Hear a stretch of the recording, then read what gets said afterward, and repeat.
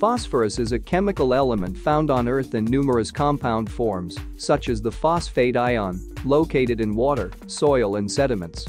The quantities of phosphorus in soil are generally small, and this often limits plant growth.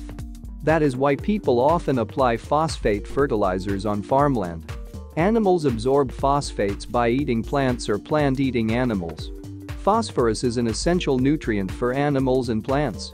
It plays a critical role in cell development and is a key component of molecules that store energy, such as ATP, adenosine triphosphate, DNA and lipids, fats and oils.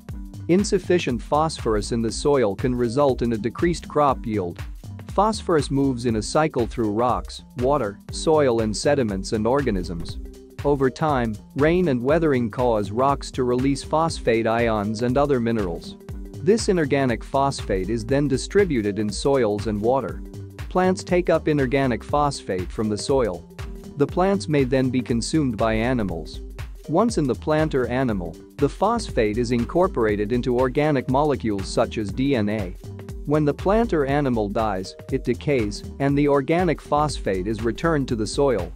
Within the soil, organic forms of phosphate can be made available to plants by bacteria that break down organic matter to inorganic forms of phosphorus. This process is known as mineralization. Phosphorus in soil can end up in waterways and eventually oceans.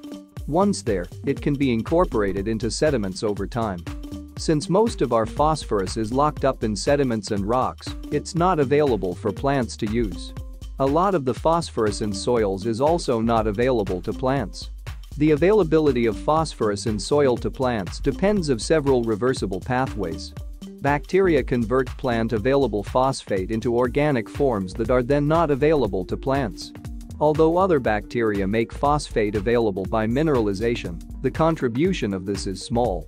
Inorganic phosphorus can be chemically bound to soil particles, making it unavailable to plants. Desorption is the release of adsorbed phosphorus from its bound state into soil solution. Inorganic phosphorus compounds need to be soluble to be taken up by plants. This depends on the acidity of the soil.